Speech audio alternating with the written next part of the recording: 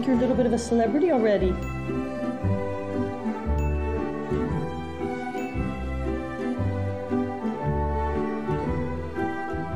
These dogs have to be trained to take care of someone's life. They have to do everything correctly 100% of the time. They can't just walk their person into traffic once. I keep hearing that every day is an adventure with your dog, and I really look forward to that because I love the whole idea of exploration and going places I've never been before. There's only so much that I can do at this point. Becoming a guide dog is one of the most difficult challenges for any dog. And the ones that do make it are, are truly the cream of the crop.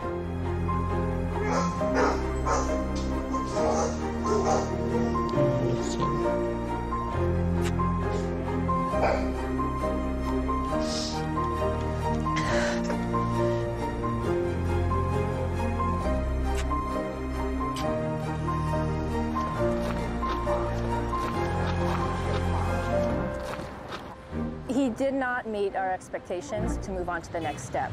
Forward.